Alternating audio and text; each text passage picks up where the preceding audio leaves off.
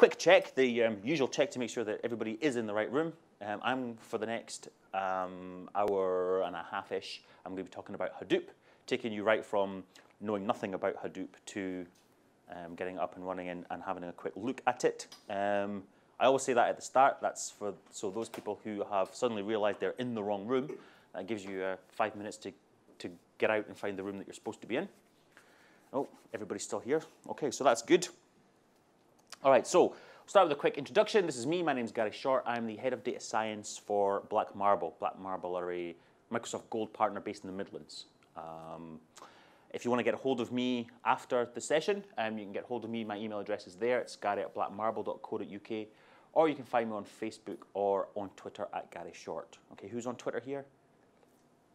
Few people, most people, excellent. Right, feel free to um, ask me a question on Twitter. That's fine. I far prefer questions on Twitter.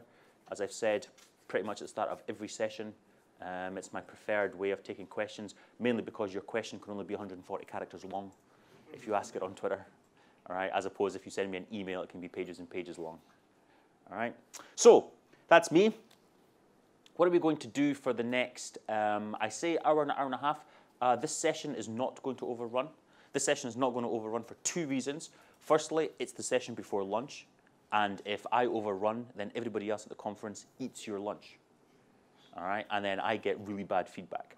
Okay, and the other reason that this session is not going to overrun is because mostly at conferences, the sessions are an hour. At Software Architect, they are 90 minutes. I forget that every single year until I turn up and see the schedule and I go, oh, I've done it again.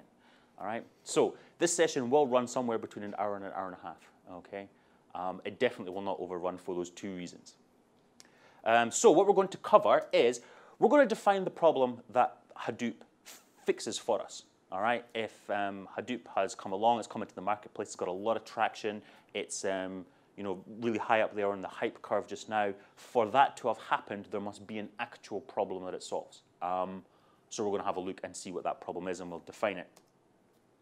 We'll define the solution to that problem, um, obviously, uh, and then we'll um, uncover what normally happens is you have a problem, then you come up with a solution, and you discover that all you've really done is swap one set of problems for another set of problems. You haven't really got a solution, all right? So we'll look at some of the problems with the obvious solution. Um, and then we'll have a look at Hadoop. And that really, that, that, those first three parts of the agenda there really just set the context for Hadoop. Shows you the problem, shows you a solution, shows you the kind of problems that you're going to have with that solution, and then um, once we've got that context, we'll show how Hadoop actually fits in there and actually solves all of those problems for us. There are many flavors of Hadoop, um, mainly because it's an infrastructure, it's not really a product on its own. Um, and so we'll be having um, a look at different companies who have come up with, who slice and dice Hadoop slightly differently for, for different purposes. We'll have a look at those. Um, we'll have a look at the full Hadoop environment probably, I can't think of anybody actually off the top of my head who has installed everything. Okay, I would probably suggest, bearing in mind the good old architecture paradigm of single responsibility, that if you have built an Hadoop cluster and you're using everything in the environment, then you're probably doing something wrong. You should probably break that down into a number of smaller clusters doing particular jobs, um, in which case you then wouldn't need everything in the environment. But we'll run through the entirety of the environment just so you know what's out there and you can say, well, actually, for my purposes, I need this bit and this bit and this bit, all right? You probably should never, if you have found yourself installing the entire environment onto your cluster, you should probably sit down and go, mm, might be doing something a bit wrong here. So look at that.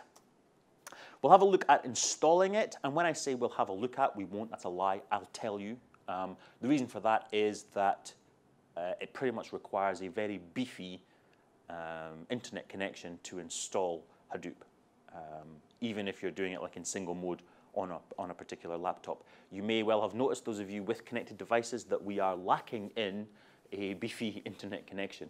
And so what I'll do is I will step you through the, the process. Um, it, it's not hugely, it's not hugely um, complicated. I'm sure smart people like you don't actually need me to show you pressing a button when I say press the button marked install. Um, I'm sure we're all grown-ups. So we'll talk a bit about that. Fortunately, I won't actually demonstrate it. And then at, at the end, um, we'll make Hadoop do stuff, right? Just basically because you've suffered through all of the slides, we'll actually make it do something, which is, which is kind of good. And unfortunately, um, this slide, I, I, I, say unfortunately that's wrong. I, am not going to make any apologies for it because this session is entitled Zero to Hadoop, and I want to give you an overview of the entire infrastructure and everything that's out there. Um, so it is quite slide intensive. It's, and each of the slides has quite a lot of information on it. And that's for two reasons. One, to torture you, because I like to torture audiences. And secondly, because you can go back afterwards and download the slides from the, from the website and actually have it as a, as a reference manual, and then you can, you can um, pursue bits of it that, that interests you. But just so that you don't feel like totally slashing your wrists by the end of the session, we will do some um, code and we'll, we'll have a look. Okay, so that's basically me. That's basically what I'm going to be talking about. Before we do that, let's have a, a little chat about yourselves. Anybody here actually actively using Hadoop right now? No. Anybody here knows what Hadoop is and has had a look at it already? Okay, kind of. So there's a few people out there who go, so you, you kind of know what Hadoop is enough to want to come along to a session to find out about Hadoop, right? So that's kind of where everybody is. Excellent, so we've kind of pitched this just right. There's nothing worse than having a Hadoop expert in the session, in the session going, I am so bored, right? I'll tell you now, if you are a Hadoop expert, you will be bored. Tomorrow is the session for you. Anybody planning to hang around tomorrow for the post conferences? All right, so tomorrow I'm doing much more hands-on, actually doing stuff um, with Hadoop, and we'll, we'll basically spend a day um, doing that kind of thing tomorrow. Um, today is more of the, this is what we're doing. So that's the infrastructure. What about languages? Who here is actually pro, I know it's a software architects conference, but who here pro, actually programs, who writes code? Excellent, most people. So when I show you code, you're not going to be scared, which is always good. Um, you got some architects conferences and they say, well, we want Hadoop because it is an architecture issue, which it is, right? But you can't really make Hadoop do anything without showing code. And sometimes you show code and people go, oh, but the last time I coded it was in COBOL, and that's not COBOL. Um, I can tell you now there is no um, language library to allow you to write COBOL for Hadoop, right? Um, bit of an oversight, there you go. So what, what is the split here? Who, who does Java? All right, most people, excellent. Who does C Sharp? All right, same amount of people. Who does Java and C Sharp? That explains it. Okay, there we go. So there's a good mixture of languages, excellent. And we'll have a look at both of those. And we'll have a look at both of those languages. I say we'll have a look at both of those languages.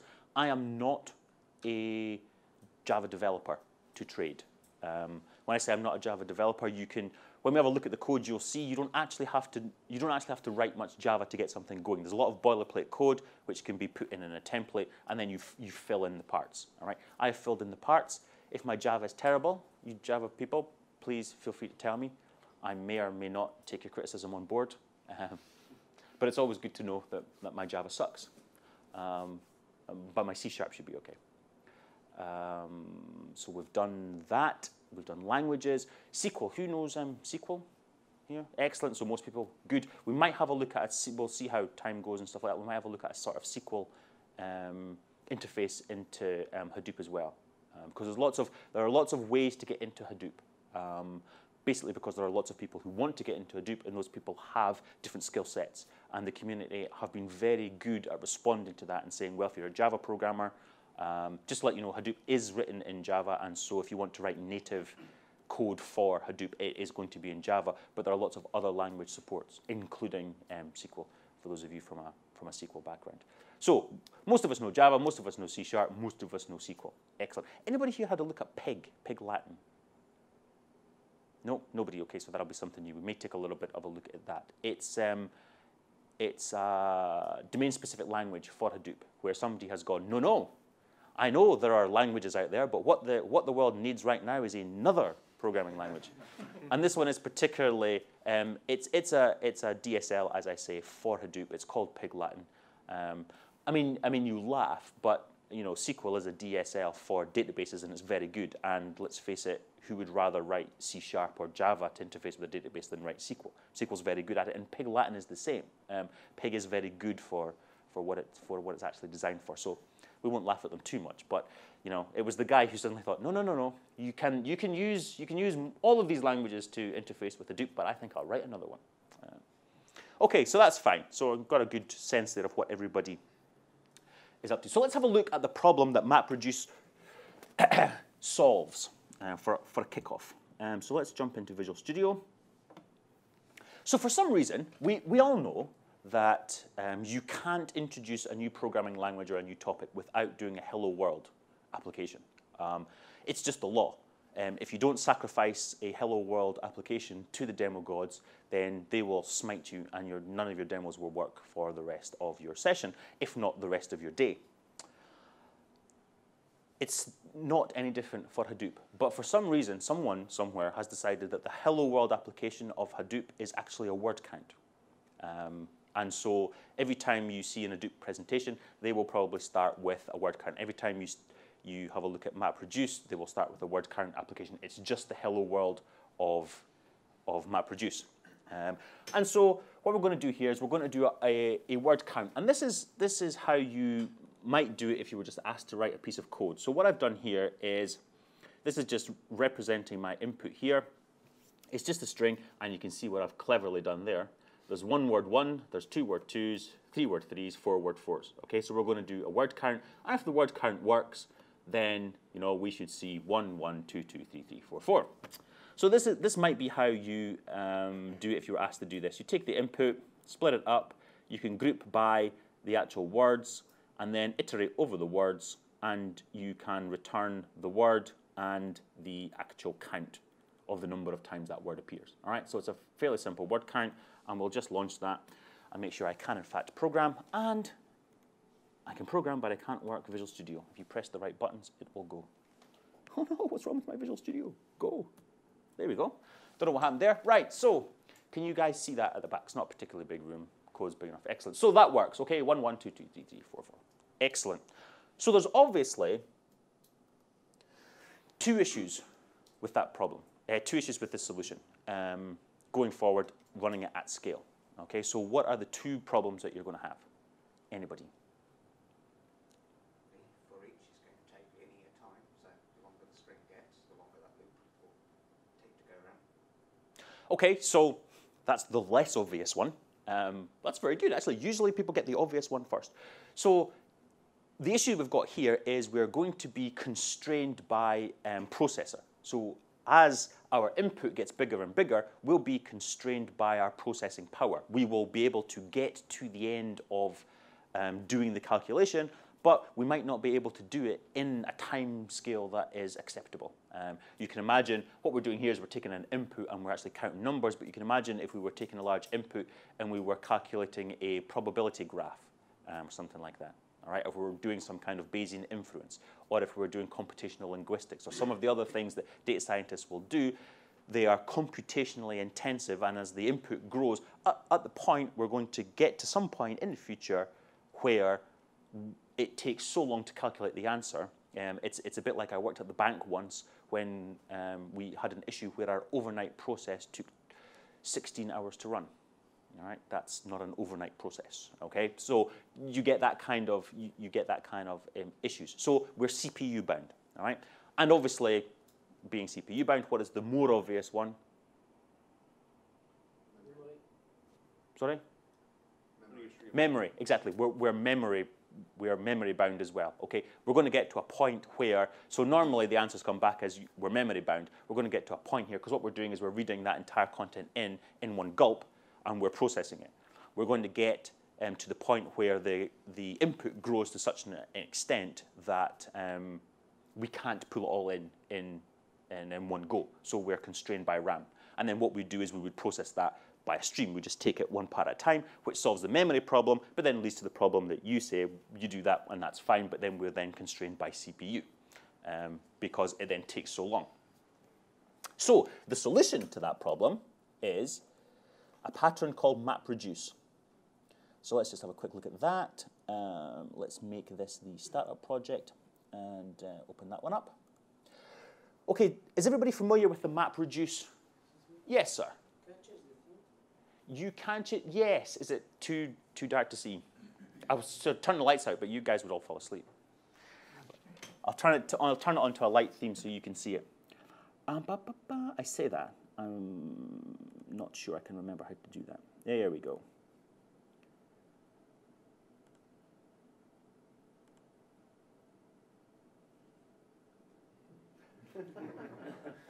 Don't you just love Visual Studio? Isn't that fantastic? All right. Okay, so the answer to that question is no, um, we can't. Um, let me. Uh, let me just put that back because that's even worse now.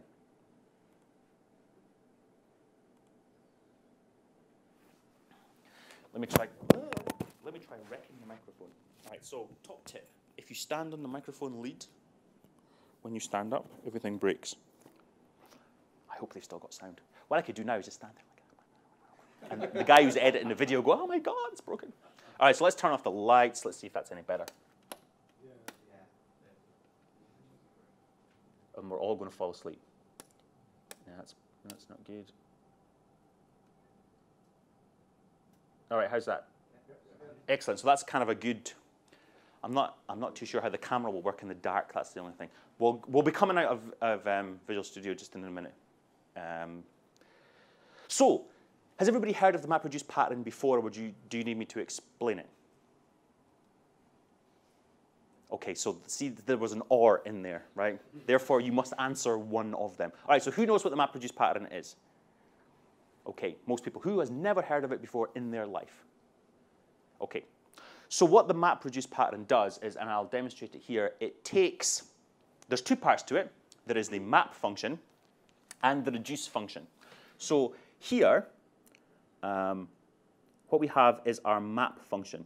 And if you imagine um, the easiest way to explain MapReduce to somebody who's never seen it before, this is not entirely correct, all right? But the easiest way to think about it for people who've never come across it before is if you think of MapReduce as being like SQL, then the map is the select statement and the reduce is the group statement, okay? So in the map statement, what we're going to do is we're going to take an input, okay, and we're going to break it up into a key value pair, all right? So we'll get a key um, and then we'll get whatever values we want to attach to that. And we will return a tuple of those things, okay, from the map function. Now, in this case, what we're doing is we're doing a word count. So our map function is very straightforward. What it's going to do is um, we're going to get a, we're going to get the string in. And what we're going to do is we're going to split that string up. We're going to iterate over the string, and we're going to create a tuple where the key is going to be the word, okay, and the value we're going to attach to that word is going to be the integer 1, i.e. we've seen this word one time. All right? So basically what the map function is doing, there's a whole stream of words coming towards it and it's going, that's a word, that's one word, that's one word, that's one word, okay? So that's what the map function does. It selects things with a key and then it attaches a value to it. What happens in the reduce function down here okay, is we take all of the all of the tuples with the same key, okay, will get sent to the same reducer. All right. So what's going to happen now is at this reducer, it's going to get all the ands, for example. So what's going to happen is it's going to get a, an input which basically has the key of and plus all of the values that came from all of the mappers. All right. So if we had 10 mappers all going that's a word, that's a word, that's a word. Every time it came to an and, the mapper would go, that's an and, I've seen and one time, and throw it away. The reducer who was dealing with ands would get a tuple where it was keyed on the word and, and it would get one, one, one, one, one, one, one, all of the ones from all of the mappers. Okay? And what we want to do is group that all together. Okay? So what our reducer is going to do is it's going to iterate over that. It's going to create a new tuple where the key is going to be the same key that the mapper gave it. Okay, so it's going to be the word and, for example. And then what it's going to do is it's going to sum up all of the ones. And so what we're going to do is, in essence, we're going to get a count for all of that, for all of those words. Okay? So let's just run that, and if I can program this properly, we'll have the same result. There we do. Okay, so we've got 1, 1, 2, 2. All right, so that's what we've done there is we've split the algorithm that we had, which wasn't really parallelizable, okay, the way we had it, and we split it into a map function and a reduce function. And that is parallelizable now, okay? Very simply because we've got one map function and one reduce function, all right? But more importantly, we can have as many map functions as we require, okay? We can have as many reduce functions as we require. Okay, and we just we can just scale out as we need more mappers. We just scale out more nodes as we need more reducers. We can scale out more more nodes. All right, so it's parallelizable now there, practically infinitely. All right, the MapReduce pattern is key to Hadoop. Okay, so it's important that we understand it from this point forward. Does everybody understand what MapReduce does? Okay, it's like select and group.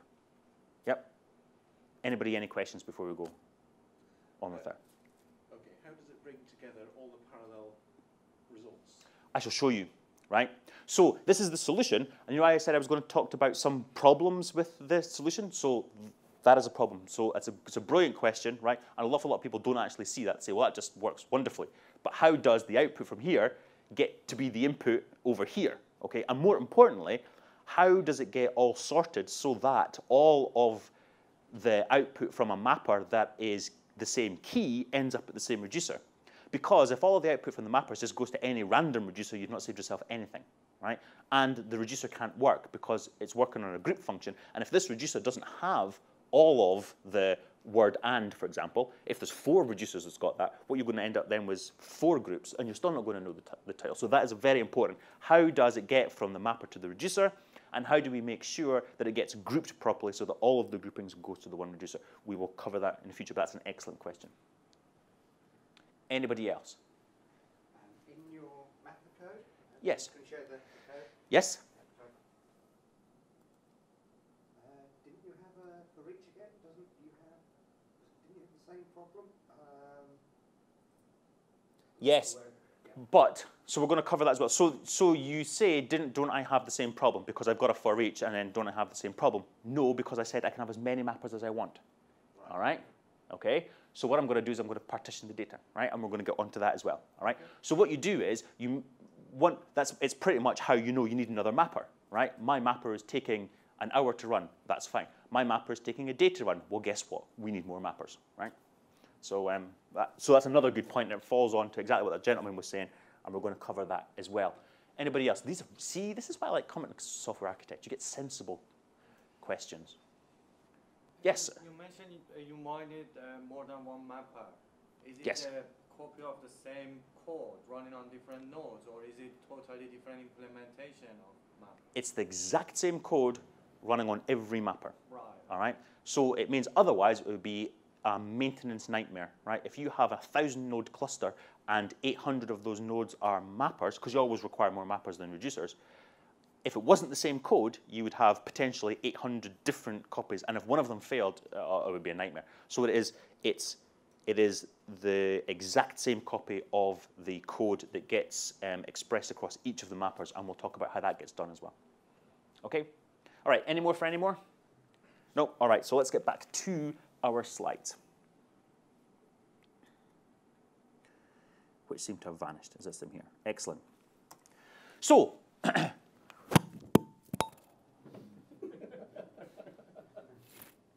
tell you something.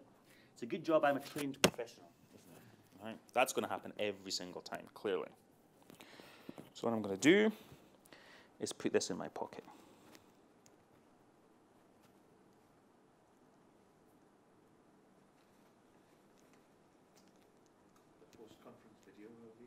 Will be. Hilarious, won't it? You would think this would be a solved problem as well, wouldn't you?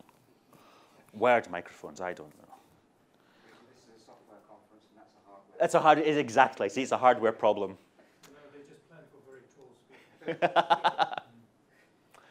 Okay, so as this gentleman said here, one of the problems you're going to get is well, there was a for each in your mapper.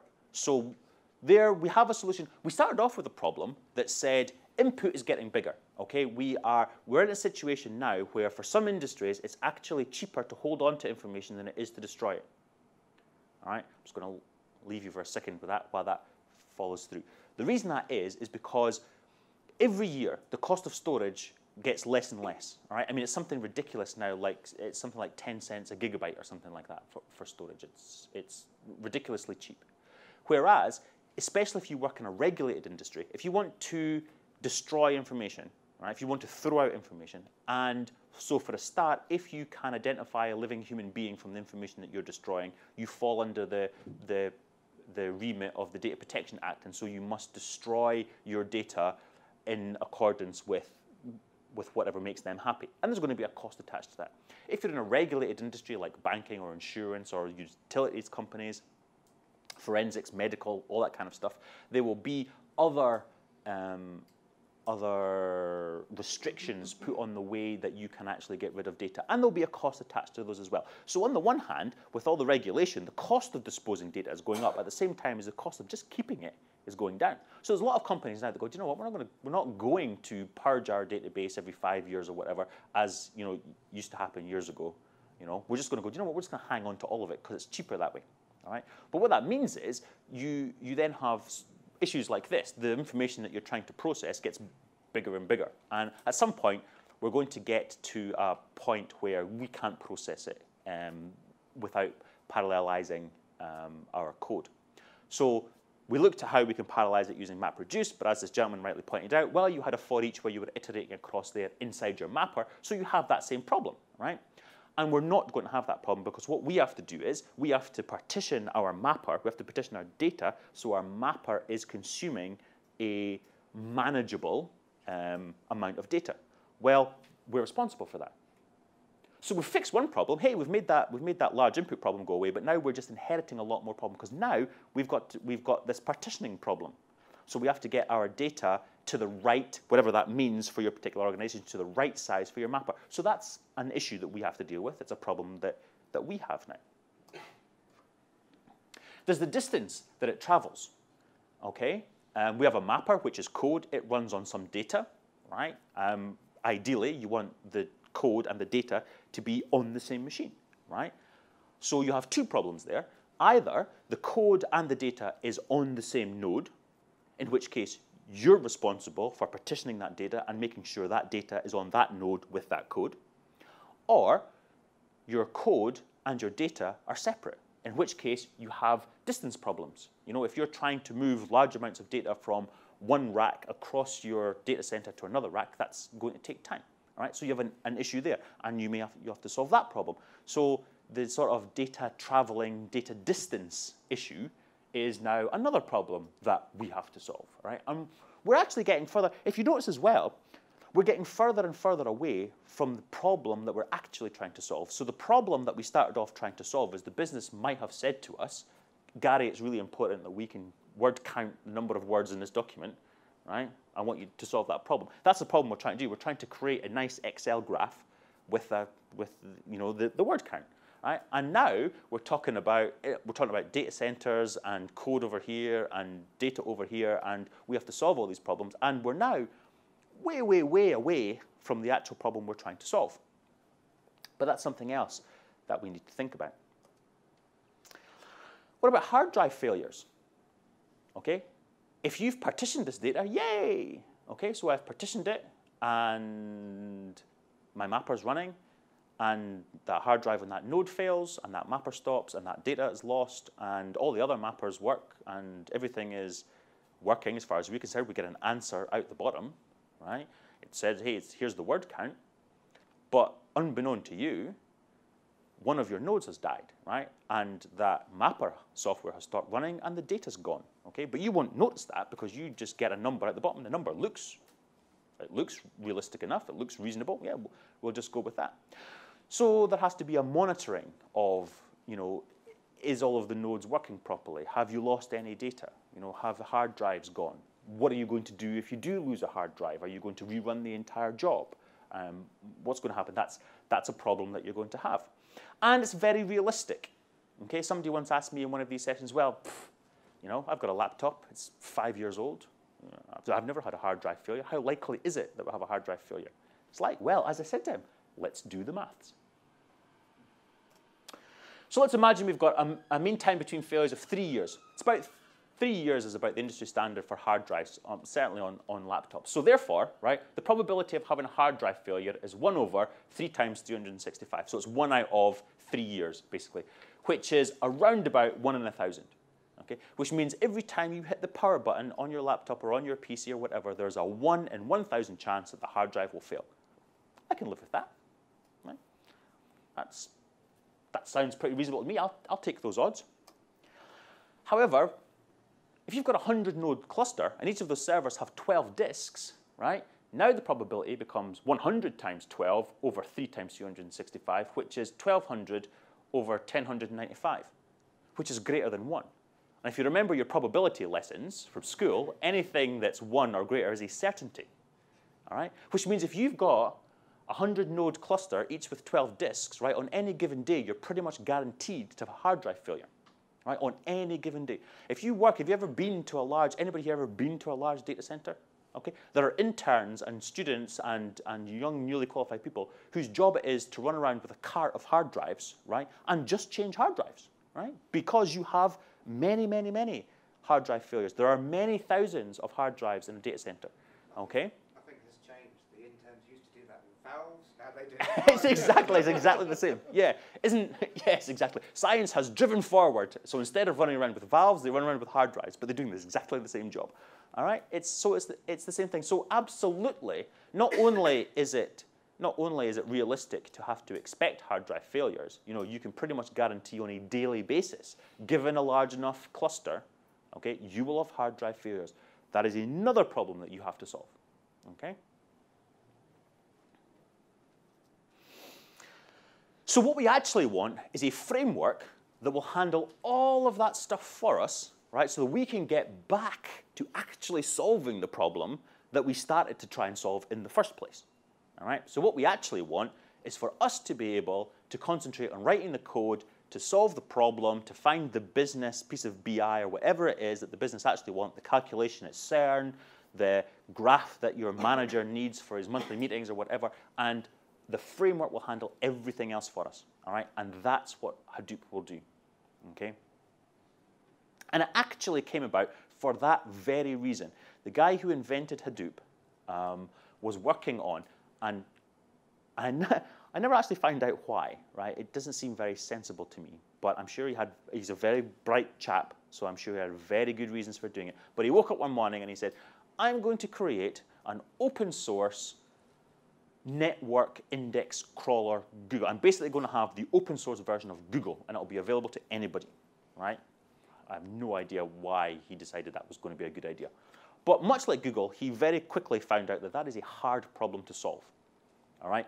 Indexing the internet, right, is a hard problem to solve. And he ran into all of these problems, right? He had to partition his data, he would lose hard drives, he had to, he spent more time actually babysitting the system than actually getting any usable information out of the system. And he was on the point of giving up when he read a paper from Google, um, two papers from Google. One was on the MapReduce, and the other was on you know the infrastructure that MapReduce would run on. And he said to himself, "Do you know what? That's the answer to that problem. I will implement the um, I will implement the contents of that paper in code, and then I will run my open source um, indexer on that um, platform." Um, time passed. Nobody was interested in his open source um, internet indexer, but lots of people were interested in this, which um, that framework, which came to be known as a Hadoop. The reason it came to be known as a Hadoop was because the chap has several rules for naming open source projects. Um, rule one, it must be one word. Okay. Rule two, the word must be absolutely unique. So when people search for your open source project on Google, only the stuff with open source to do with your open source project will come up. Okay, and his son, I believe, at the time had a small, cuddly elephant, small yellow elephant, cuddly toy, right, which the son had named Hadoop, right. I'm not sure whether the son had actually named that or whether he had just hiccuped at the time, and from then on the elephant was known as Hadoop, right? I'm not sure, but the elephant was known as Hadoop, and the guy who wrote the framework said that's a brilliant name for an open source project because it's my son's just made that name up, so it's you know there's no way anybody else has got it, all right? And so Hadoop is called Hadoop, and that's so that's why it's called Hadoop, and it's also why the icon for Hadoop is a small yellow elephant, right? It's not because elephants never forget, and you know it's nothing to do with that. It's because Hadoop really is a small yellow elephant, right? It's as simple as that. Unfortunately, because software engineers in particular have little or no imagination, um, every project that's come into the Hadoop infrastructure, okay, has carried on the animal theme, okay? Which is why the language is called pig, all right? And all the rest of it, there's hive and there's zookeeper and there's all of these kind of things, all right? It's because we have no imagination. It's the same as why, it's the same reasons we have Java and we have jars and we all have that nonsense because you put the Java in the jar. Isn't that clever? No, not really. Um, nice to know that things have not changed since then at all. So, Hadoop um, actually came about because this chap who was working on this open source indexing problem had exactly the same problems as we've just been talking about. And this is what he did to solve it. And now this framework will solve these problems for us. Implementing and working on this framework will allow us to concentrate on actually solving the business problem, which let's face it, that's what we get paid for, right? Our employers pay us to solve business problems because we have built up subject matter ex expertise in the business, all right? If it was just general problems they wanted us to solve, they'd hire general people, all right? And so we are far more productive when we are solving problems that only a small group of people know how to solve, okay? A small group of people with that subject matter expertise. And Hadoop allows us to do that. Hadoop allows us to forget about the general and concentrate on the specific, which is what we are employed to do. And this is how it works. This is an awesome graphic. Um, so this is how uh, Hadoop works. Um, we'll start off down here. So Hadoop can handle structured, semi-structured, and unstructured data. Okay? Does everybody know what those three terms mean? Does anybody need me to explain those three terms? What's that? Okay. Is that like schemed, semi-schemed, and unschemed, or how does it relate to schemed? you just change a word and go, is that the same thing? Um, kind of, but not quite. So structured data is the easiest one. It's, it's the one we know. It's your SQL database with a schema that says this table, every single row will have these columns, okay? The information in the column may be a null if we've allowed that, but the column will exist, okay? Semi-structured data is a bit, a good example of semi-structured data is a tweet. If you go onto um, the Twitter website and look up the API, they will define what a tweet looks like. And it says, you will get one or more of the following fields when you search for a tweet. You are not guaranteed to get all of them because, for example, some of them are preferences. So for example, when you make a tweet, you may select, you may um, select the option that allows you to put your location with your tweet, all right? In that case, if you were to do that, if I were to search for your tweet, I would have location information in there, right? If you decided you didn't want the world to know, and especially the NSA, to know where you were, okay, you would turn that off. And if I search for your tweet, that information would be missing. So semi-structured information says the schema in general looks like this, but you're going to get some subset of that. Okay? So that's semi-structured. And unstructured data is data which has no structure whatsoever. So if you can imagine, for example, if I had a database of your feedback forms, all right? If the feedback form says, please rate the following between 1 and 5, where 5 is awesome and 1 really sucks, okay? That is structured data, all right? At the bottom, um, I might say, please make any comments that you want to. And you're just going to write freehand whatever, right? Gary's presentation was all right, but he kind of lost it in the middle when he was talking about semi-structured data, all right? That has no structure whatsoever. It's just your written notes, all right? So that's unstructured data, all right? And Hadoop can handle all of those things, okay? Which is kind of handy. So what happens is that data comes in gets into what's called a name node. So Hadoop is broken down into two parts, really. There is a name node, and then there is one or more um, data nodes. All right, and the name node knows where all the IP address. You can feel free to take photographs if you want, but the slides are actually available on the website. You can download the entire slide deck afterwards. It might be might be easier just to do that. Um, and so there is a name node um, which basically manages everything. It knows um, or it gets told um, what is the mapping code, what is the reducing code, um, and what data it has to process. Okay. It also knows a bunch of IP addresses of a bunch of um, data nodes. All right. And so when the name node here, you will log on either command line if you're old school or through a, web UI. Um, you will upload data to the name node. Okay? Then you will upload code. Here's my mapper, here's my reducer. Okay? And then you will hit a button that says go, pretty much. And what will happen is the name node here, it will break down, first thing it's going to do is it's going to break down the data. By default, it will break down the data into 64 megabyte slices. All right? So this gets around your problem of, well, you've got a for each in there that you're iterating over. All right? So by default, it'll be 64 meg. All right? That is configurable. Um, if, if you want it to be something else, it can be something else. All right? But by default, it's 64 megs. And then what happens is all of that data is sent out to the data nodes. And it's stored once and replicated twice. Okay? So it's stored on a data node. It's then stored on another node in that same rack. So now we have node redundancy. So this gets around the problem of what happens if we've got a hard drive failure. Okay? So what happens if you've got a hard drive failure is nothing pretty much. That node dies, all right? But the, the other node in that rack carries on processing that 64 megabytes of data. Okay, so that's the first time it's replicated. The second time it's replicated, it's replicated onto a node in a different rack. Okay, so now we have rack redundancy. So we can, we can actually lose an entire rack of nodes and still the job will finish. All right, so stored once, replicated twice. If um, one of those replications, because as far as, uh, as far as Hadoop's concerned, they're, they're all equal. Okay, if one of them dies, then the name node will be informed that one of them has died.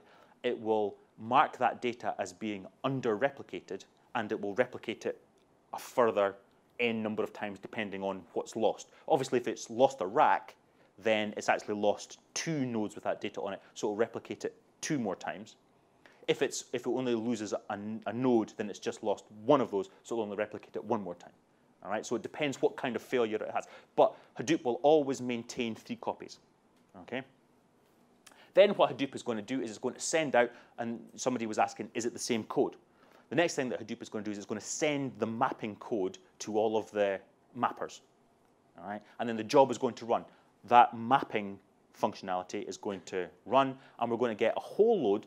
These mappers, all let's just say they're all mappers for the sake of um, for the sake of argument at the minute. All of these things are mappers. So they're all going to have whole load of words there. Still, we're doing word count. So we'll have a whole load of words there, whole load of words there, whole load of words, whole load of words, whole load of words, whole load of words, whole load of words there. All right. So at this point, two things are going to happen. The next thing that's going to happen is a combiner is going to run on the actual node. Right. So what that's going to say is, if I've got the word and, and I might have the word and, the, and in, okay, that's fine.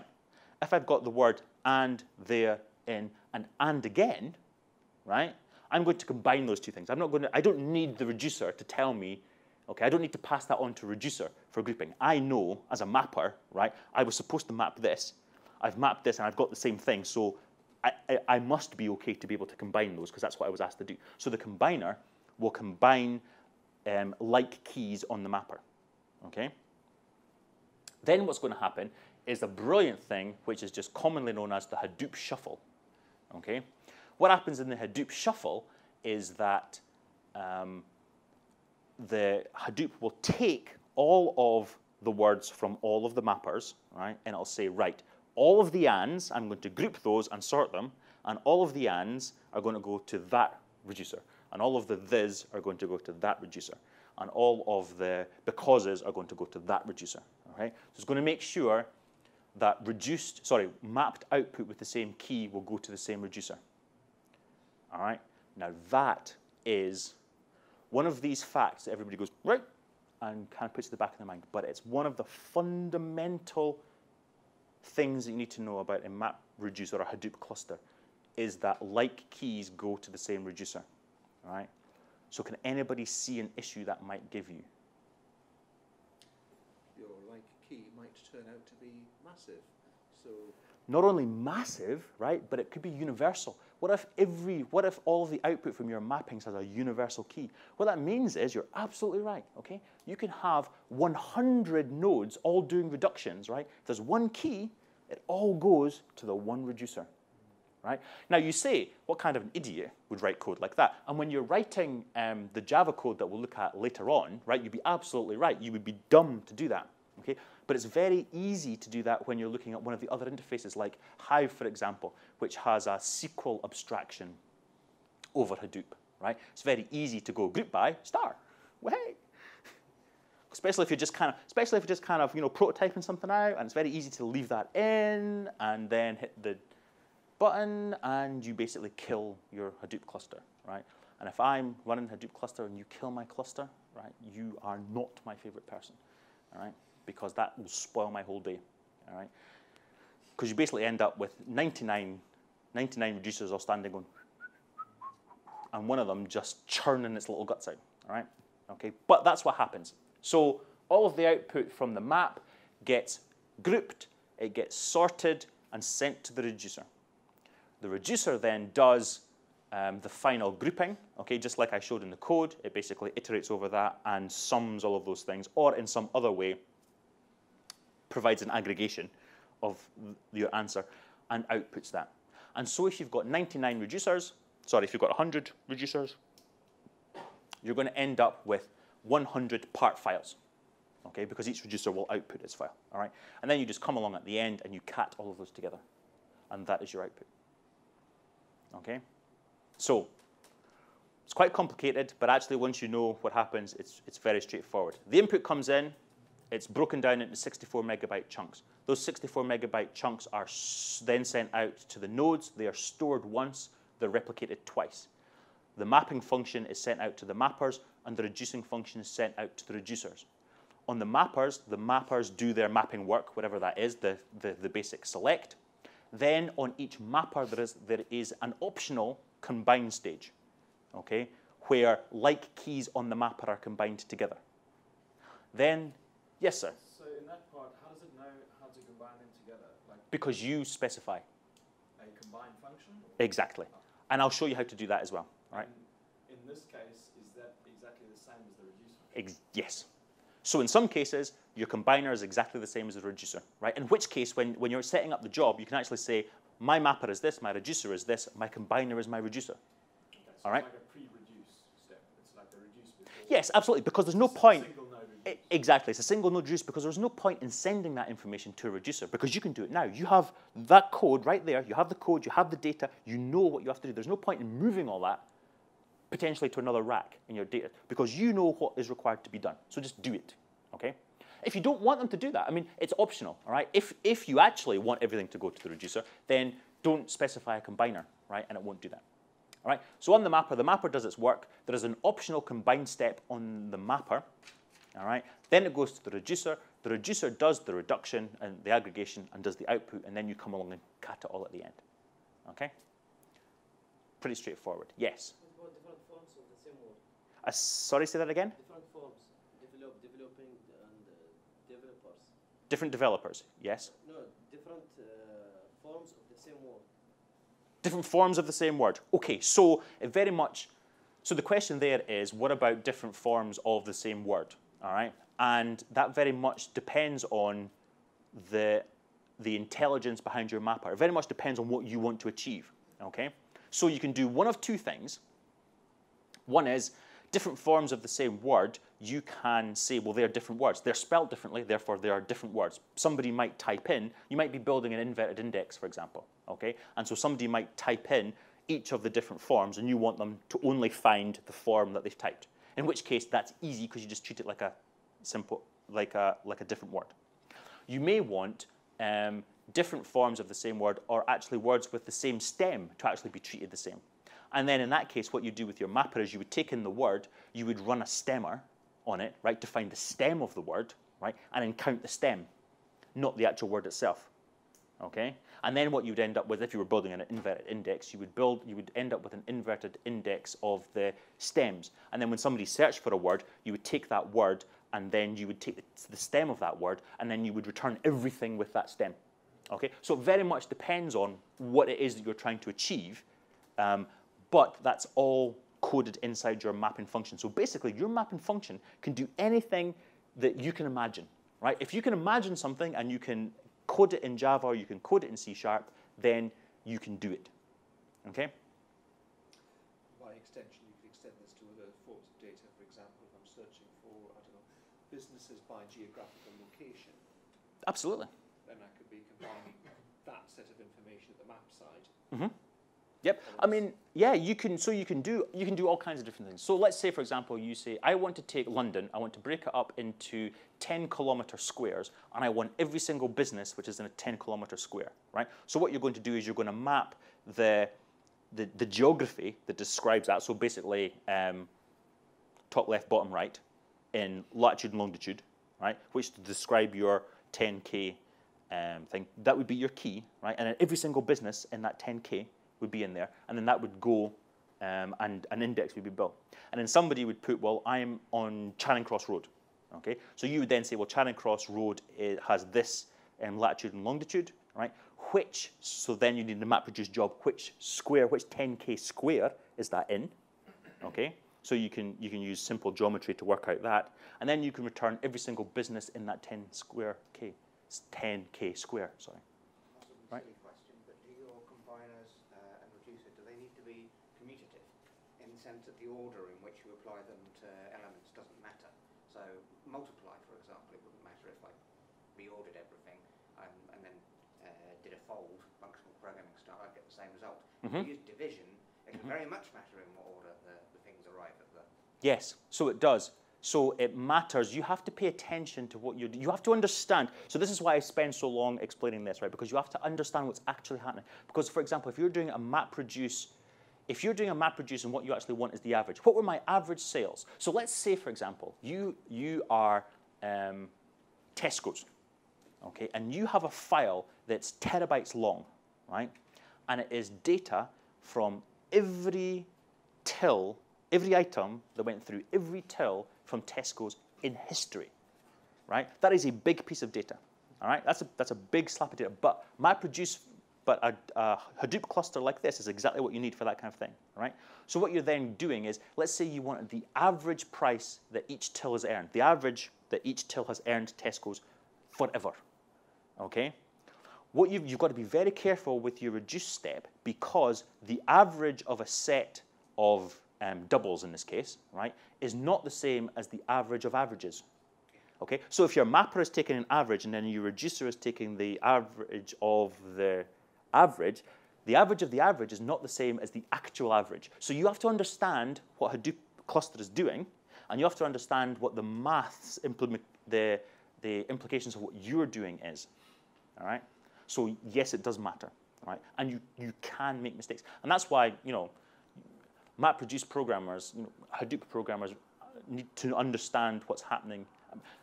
It's one of the it's one of the few areas these days in programming where you actually have to understand the architecture underneath. I mean, things like um, the .NET runtime and the JVM kind of shield developers from having to know what the actual bit twiddling is underneath the hood. All right. I mean, prime, prime example of that is that you don't actually with the JVM you don't actually care what size the integer is. What size an integer is depends on the architecture. Okay. Actually, you do. Uh, it's one of those uh, exotic facts about Java. The JVM is 32 bits wide, uh, and it does 64-bit additions in two, non- two non-atomic operations. So if you don't wrap, wrap your 64-bit apps uh, in a synchronized block, theoretically you can get the wrong result. Right. Yeah. Theoretically, but in the manual, right, they say the benefit is you don't need to know. So, but I mean, because it's a prime, it's a prime interview question. No, no. Prime interview question is what's the size of an integer in the JVM, and the I'm just saying that sort of architecture, they, they try hard Yeah. to shield you from the architecture, but I know what you mean. But the, but there's a prime exactly. But there's a prime interview question that says what size is an integer on the JVM, and the, the answer to that question, the actual answer is well, it depends on the underlying architecture. You're kind of shielded a little bit. I understand that you're not entirely, all right.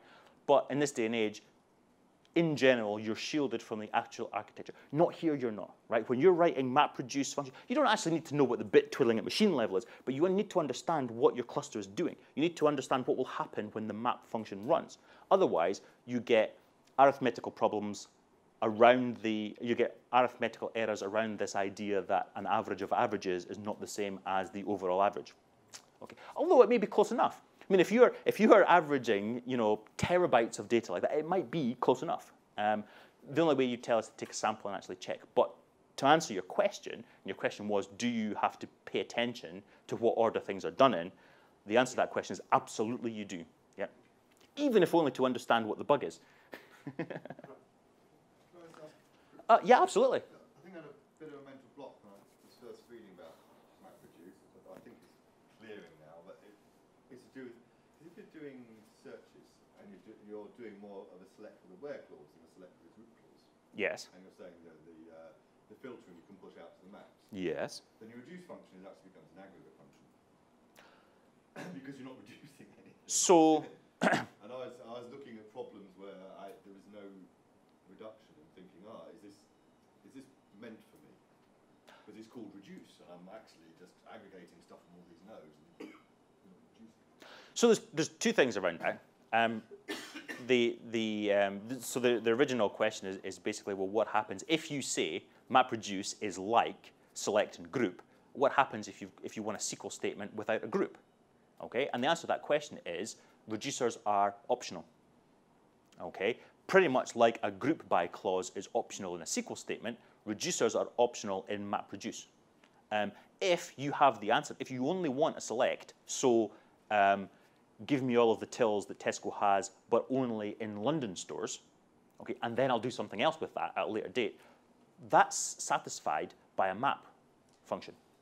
In which case you just wouldn't specify. You, you would set the number of reducers, number of reducers equals zero, and it goes, okay, that's fine. And you just get the output of your mapping function, and you're done. And if I'm predominantly looking at those problems, am I looking at the wrong technology to solve it here? Because this is because the reducer is so No. important. No, no, the reducer is not. No, the, the, so right yeah. Uh, I was wondering, because you know, it's easy to pick up something and use it inappropriately. Yes. So the the answer. So yes, the, the answer to that is it's just a way of um, parallelizing your, your task. And remember, right at the start, we said we're going to be constrained in two areas. We'll be constrained by CPU and be constrained by memory.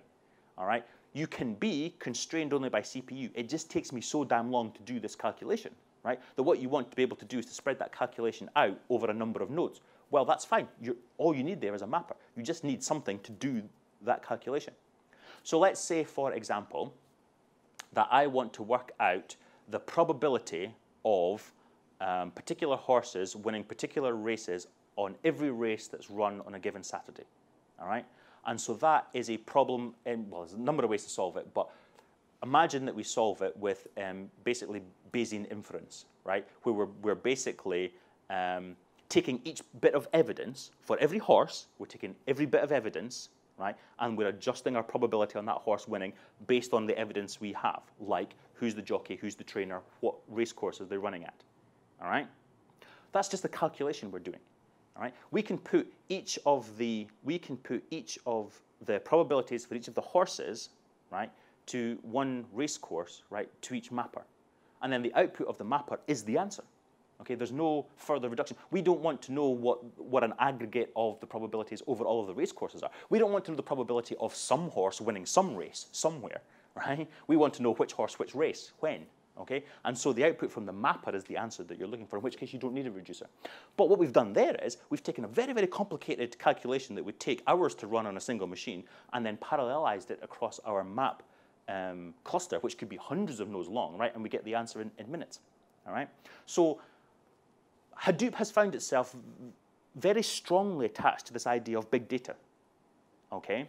Um, and big data, even though there are five V's of big data, right?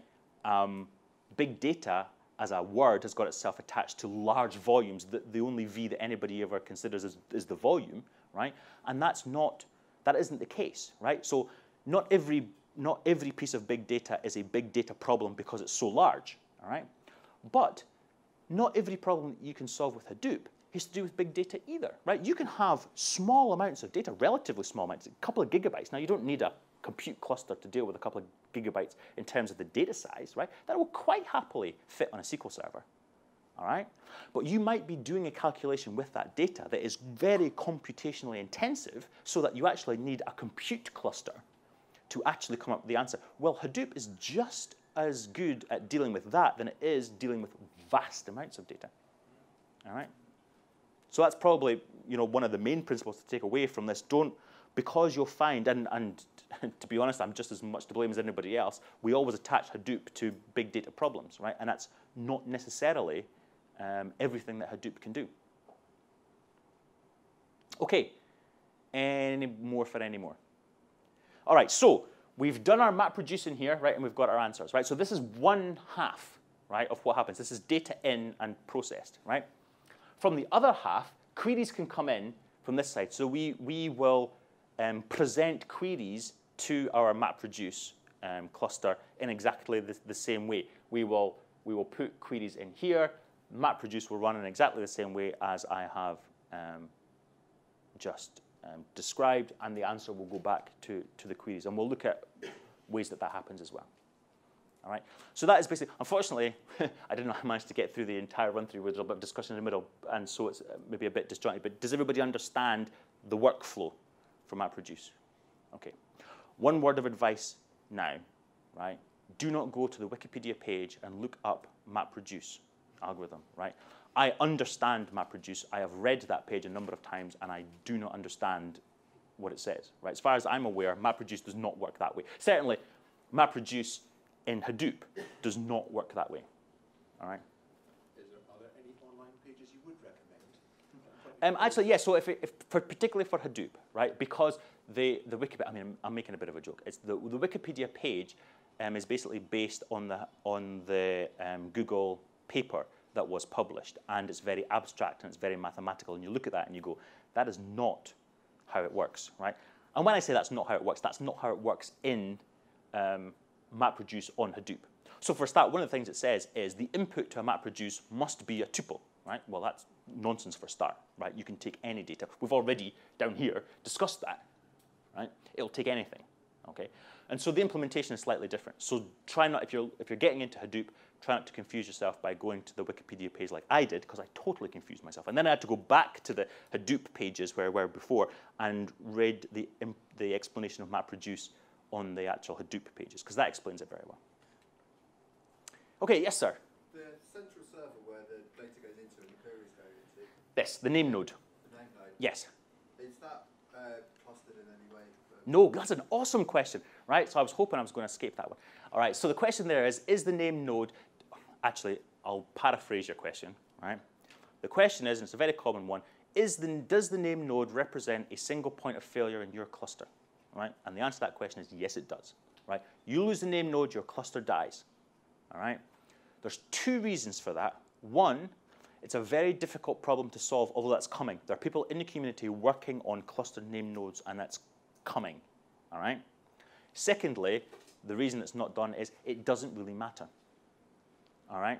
And it doesn't really matter because you have, it's not shown on here, but you have a name node and job tracker, which does exactly as I've, the name node does what I've explained. The job tracker does exactly what it says in the tin, right? Just keeps track of all of the jobs that are running. There's also another server there called the secondary name node, right? And what happens is that keeps a copy of everything that the name node knows, okay? But it's not um, active, active, and it's not active passive. It's kind of active, yeah, um, well, it's kind of active, really passive, right? It's probably the best way to, uh, to describe that. And so, yeah. So what happens is if you lose your name node, what you have to do is you'll, you'll have to make sure it's up to date. You may have to cut, copy across some um, files just to make sure everything is up to date. And then you bring your secondary name node up, and then you just start again, and everything is fine. And you, that may take you, how fast can you do that? That may take you 15 minutes, it may take you 20 minutes. And when somebody says, the name node is a single point of failure, and if you lose it, you might lose your cluster for 20 minutes. People go, all right, don't really care. I mean, because we're, we're running big jobs, either computationally intensive or data intensive, right? These may take an hour to run, right? They may take a day to run, right? Depending on the size of your cluster and how much investment you want and how fast you want the, the time. But, you know, a job that takes half a day to run is not, you know, uncommon, simply because that time scale is good enough. So why invest more money to, to get that information quicker? So in, in a world where a job may take half a day to run, losing 20 minutes of time is neither here nor there. If it matters to you, there are solutions to that problem.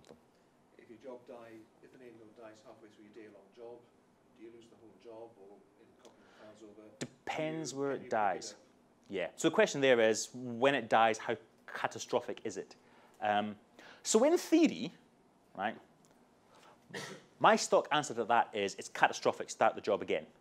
All right? In theory, if enough of the name nodes, enough of the data nodes have finished the mapping such that the mapping is complete. Because remember, there are three copies of it, and it's and it basically Hadoop works on a first to finish wins kind of thing. So there'll be three copies of your job running, three copies of every map job running, and the first one to finish wins. All right. So just because not all of them finished, okay, there may be enough of the jobs finished that the actual mapping is complete. In which case, you'd be able to move across the mapping output. Right. I would go. Mm, I'd rather just start the job again. Right. I'm. I'm not sure I would. I'm not sure I would trust that, right? Um, I would need I would need so many tests, right, on the mapping output that actually it'd be faster probably just to start the job again. So this, compelling business case to put the effort in. yeah. So the answer is always it's catastrophic start again. Although technically it's not. okay, anybody else before we move off this awesome graphic? Nope. All right. So Hadoop comes in many flavors because it is um, it's an open source project. It is many and varied now. Lots of companies have taken Hadoop as a base and built other stuff on it, okay, and then shipped their flavor, okay, and basically it, it pretty much you know you pay your money, you take your choice. What what do you need? What's out there at the time? This is what.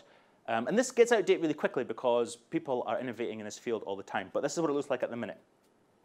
There's a company called Cloudera. They do their own version. Who's, who's heard of Cloudera? Okay, a few people, that's good.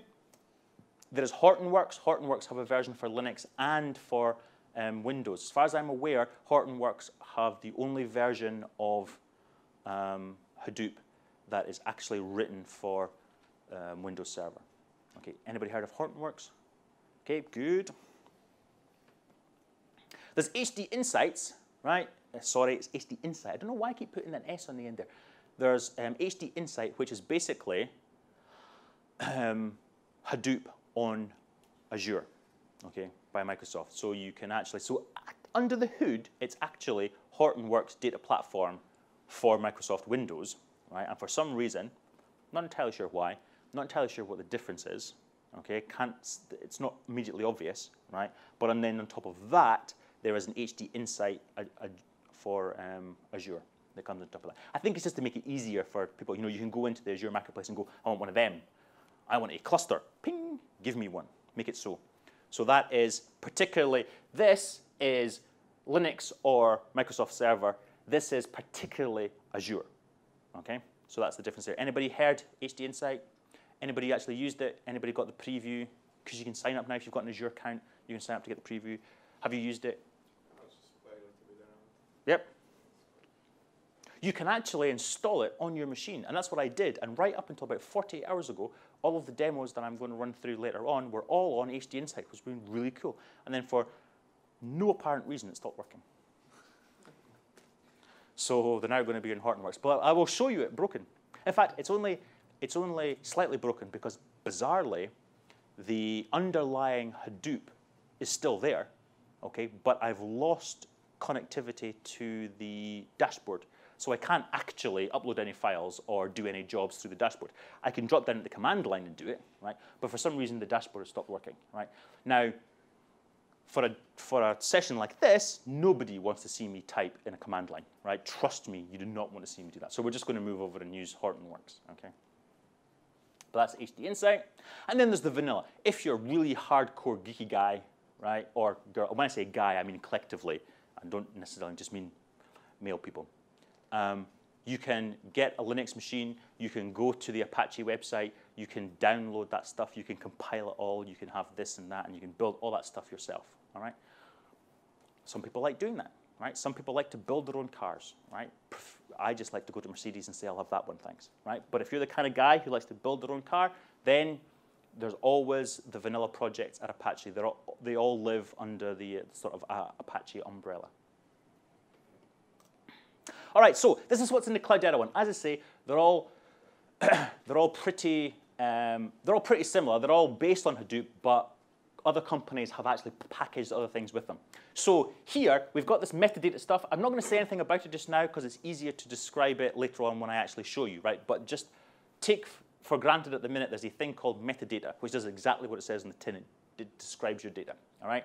We've got the storage here, we've got resource management, and we'll talk a bit about that. Up here on the engines, you've got machine learning from Mahout. You've got um, Cloudera Search, which is obviously, you know, it's their own product. That's why they um, bundle it here. You've got um, SQL through Impala, right? So Impala is one way of doing it. Hive is another way of doing it. They've gone the Impala route, so they've wrapped that. And then there's obviously MapReduce. There has to be MapReduce in there, and there's Hive and Pig and everything like that as well. Um, so you take a look at that, and if that more closely matches the infrastructure that you need it to run on, plus the kind of jobs that you're going to be doing with it, then this is the, this is the installation you'd go for. Over here, this is, um, this is the Hortonworks one. Um, Hortonworks has, um, all has Hadoop Pig. Hi, this is all the, the base stuff. Um, HCAT is the thing that does your, um, the metadata, right? We'll talk about that later. There's, um, these are just awesome names, right? Sqoop and Flume are basically ways of getting data into your um, Hadoop cluster, all right? We can, we'll do it the old-fashioned way when I'm demoing it. We'll just basically go upload file, okay? But there are other ways to do it. Um, Sqoop will allow you to scoop out data from your SQL Server database and put it into um, put it into Hadoop. So if you've already got data in a SQL Server database and you want it on the cluster, then Sqoop is the way to do that. Um, Flume is a way to take streaming data. So clickstream data if you want to analyze who's coming to your website and all the rest of that kind of stuff, or um, if you want to analyze Twitter feeds and stuff like that, so or, or any data that streams, um, movie or audio or anything like that, then Flume is the way to go. Again, they've got Mahout. Mahout is the machine learning um, engine. Um, it's got Zookeeper as well that comes with that. Zookeeper, Zookeeper. You see what I mean about this sort of common theme? All right. So Zookeeper, we'll talk about that later on.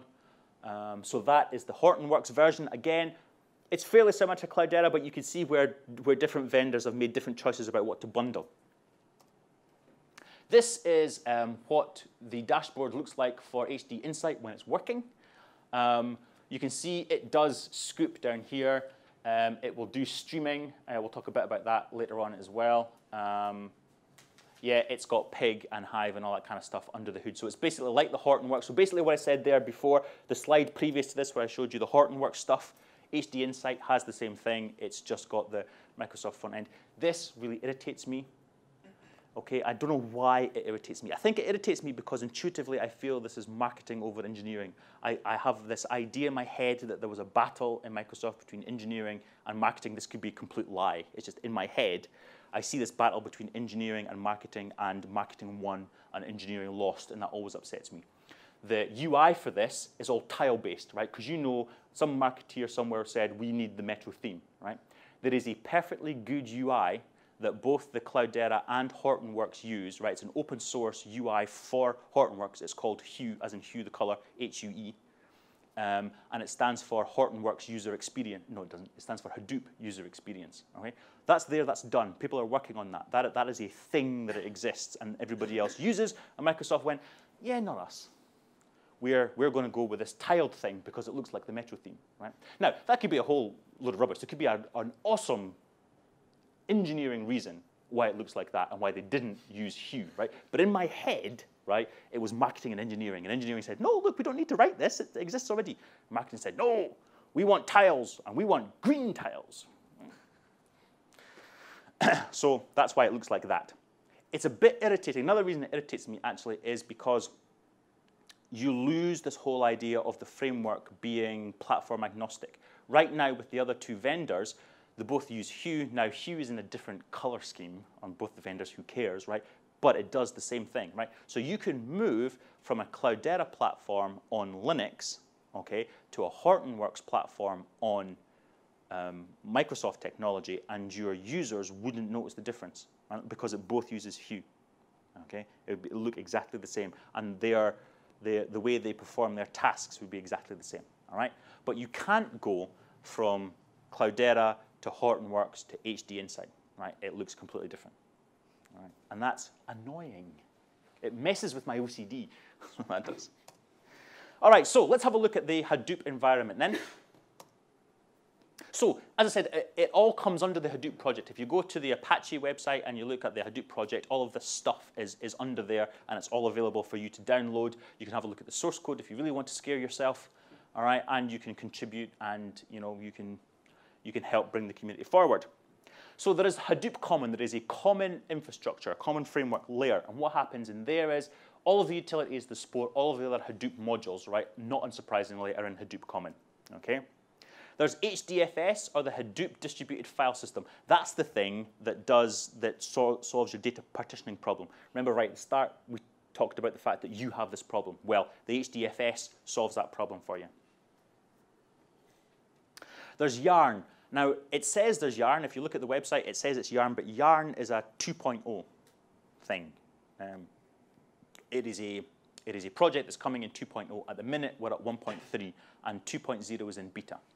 All right, but it's coming real soon. And Yarn is going is um, uh, what does the N stand for again? It's um, yet another resource, and I can't remember what the N stands for. I, I have manager stuck in my head, but manager doesn't start with an N, and now I can't find the real word, but it's a word that means the same thing as manager, but starts with an N. Pardon? Numpty. Numpty, yes. boom, boom. Okay, so that's going to schedule your jobs and helps you with um, resource management, just like I said. Unfortunately, I can't remember where the N is. And then, of course, there's MapReduce, okay, which in 2.0 is a yarn-based system for parallel processing. In 1.3, it's not yarn-based, but it's still Uh, it's still a framework for parallel processing. And all that stuff is wrapped up in the common.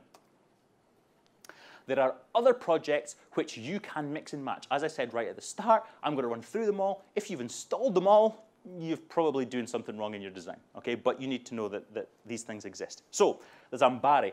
I'm not going to read all of this text out. It's here on the slides because you can download the slides and it'll become a resource for you. I don't intend to stand here and read all this stuff out. So don't worry that it's flashing past really fast, right? It's there for your information after the session, uh, really.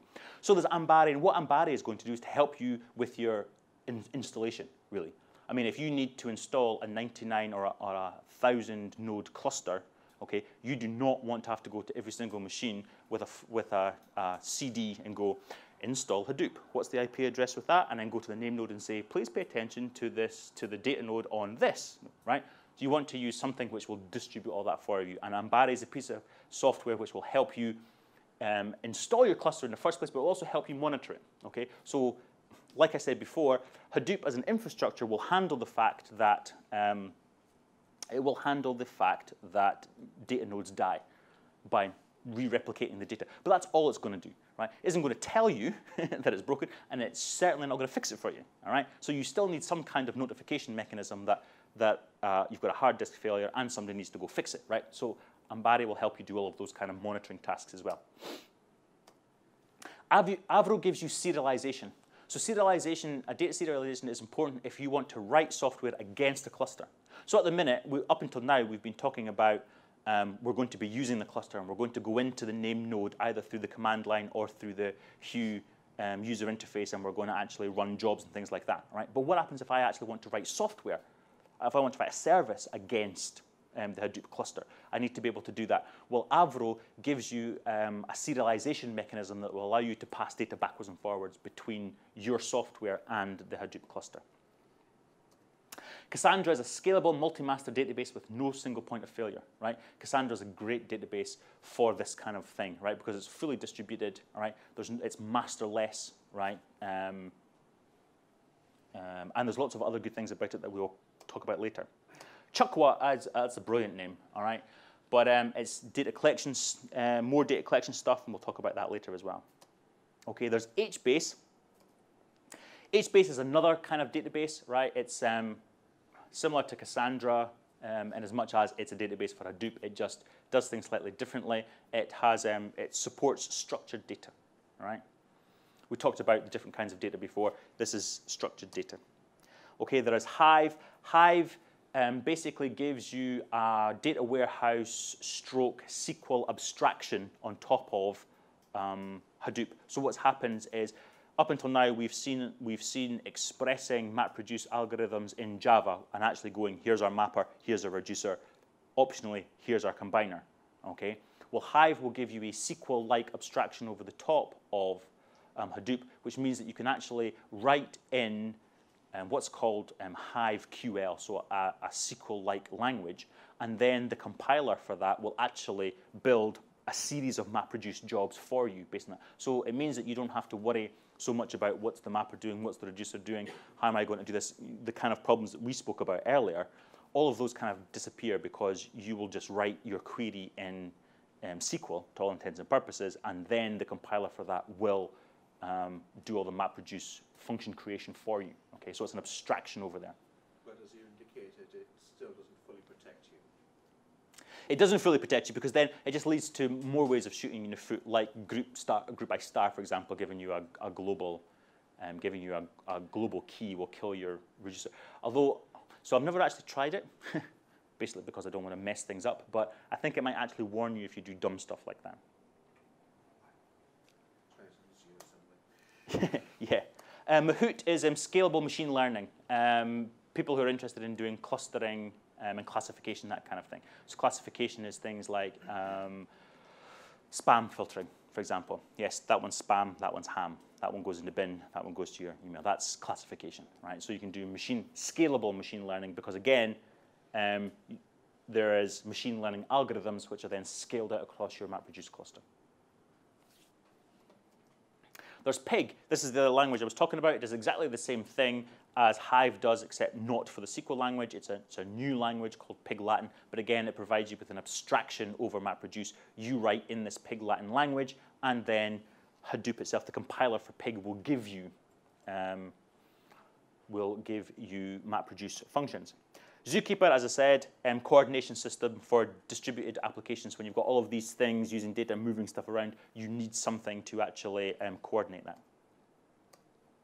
So we're just going to quickly um, go through some of these just so you um, basically you know in the slides where to look more than anything else. Okay, so let's have a look at um, these projects in different areas. So there's things which manage data, there are things which act on the data, and there's things that do support and plumbing. So the, the products are basically um, broken down into those three areas. All right. So let's have a look at the data then. So we've got Avro, um, we've got Cassandra, and we've got HBase, um, and we've got this thing called Hive. Um, so Avro, it gives us rich structures, okay, for serialization. All right. Compact and fast binary data form, because if we're moving large amounts of data about, right, we want to be able to do that in binary form. We want to be able to do it quickly. Okay. Allows us to store persistent data. Allows us to do remote procedure calls. All right. It's really simple to integrate with dynamic languages. So if you're using something like Python to um, communicate with, all right, it's perfect for that kind of thing. Um, you don't actually need to do the code generation, but if you do, it's an optimal optim sorry, it's an optional optimization um, for statically typed languages like Java and things like that. So you have the option to do it if you want, but it's it's optional. Okay. Um, Cassandra, again, as I say, is a massively scalable open source um, database, and that's why um, it's, it's important for Hadoop if you're using it um, to actually deal with, with big data problems, and not everybody is, as we said before, okay? Um, you can actually, um, you can actually what's the word I'm looking for? Distribute this across data centers in, in the cloud. So it's not just distributable across machines in a data center, you can actually have it across data centers as well, okay? What it's going to do is it's going to deliver continuous availability, right? So if you require access to your data all the time, right, and guaranteed, right, then Cassandra is the way you want to go. It's linearly scalable, and I'll um, show you a graphic about that in a second. Um, works on commodity servers, which makes it cheap, right? Okay, so you just need you just need more more tin basically, and it's cheap tin. It's not the kind of high-end servers you would need to have on a SQL Server farm, for example, right? So you can have you can build a Cassandra farm relatively cheaply. There is no single point of failure with um, Cassandra cluster because all of the data is everywhere. Um, yeah, that's fine. So it's masterless architecture. All nodes are the same. There's automatic data distribution across all of the nodes that participate in what they call a Cassandra ring. All right, and that happens automatically for you. You get that behavior out of the box. Okay, and you can do customizable replication. Just a very quick one, just come out. Is this something you put on the data nodes then? Yes. But you still have a name node that's then. Yes, but you would use the easiest thing to do is to use Ambari to actually install that. So Cassandra would go, Cassandra would go on your on your data nodes, Or HBase if you can. or whichever way you want to do it, right? And it's and, and it scales linearly, right? And I mean, and it really it, it really does um, scale in this way, you know. So as you double the number of nodes, you double the number of transactions, okay? And so you can scale up and scale back down again really quickly um, with Cassandra. You don't get that kind of um, diminishing returns from your scaling, right? It is, it is linear. So if your Cassandra database is too slow, just do a binary partition and, and make it twice the size. Um, and that problem will go away. And then, of course, problems in speed and things like that then become um, a function of your checkbook. You know, if if you want it to go faster, it costs more money. If you've got more money, great. If you don't have more money, then you'll have to save up, right? But it's it's, it's an easy fix. So HBase is a distributed column orientated uh, store. It's very much like Google's Bigtable, right? It's very much modeled on that. Does everybody know what Bigtable is from Google? Anyway, it's modeled on that. Built on top of Hadoop, as all of these things are, um, for MapReduce and distributed file system implementation, right? So it's one of the things we, it's all right, it's all very well for us to say, well, what happens is, you know, um, your data is, is split down into 64 megabyte splits, and this happens and that happens, but something has to track where it went and how many splits there are and, and getting it all back together again. And because when you look at that, you're actually given an abstraction over that. You look at the front end, and we'll look at that shortly. You look at the front end and you see the file, all right? But it doesn't actually physically exist like that, all right? This is just, in much the same way as when you look at the Explorer on your hard drive, um, it shows you here is the file. But actually, we know it's, um, it's split across the hard drive in lots of little blocks, right? This is exactly the same thing, except for a distributed file system. Hive is a thing that I was talking about earlier. It gives you a data warehouse abstraction, um, so facilitates um, easy data summarization, you know, you know um, averages and sums, and the kind of things that, that you do run-of-the-mill on um, SQL Server. Really good at analysis of large data sets and that kind of thing as well. All right, stored in an Hadoop compatible file system. So things that act on our data then, all right, so we've got Pig and we've got Mahout, right? We're not going to demonstrate Mahout today because um, you need to have quite an understanding of machine learning and I don't want this to turn into a data science machine learning session, right? And frankly, right before lunch, neither do you guys, okay?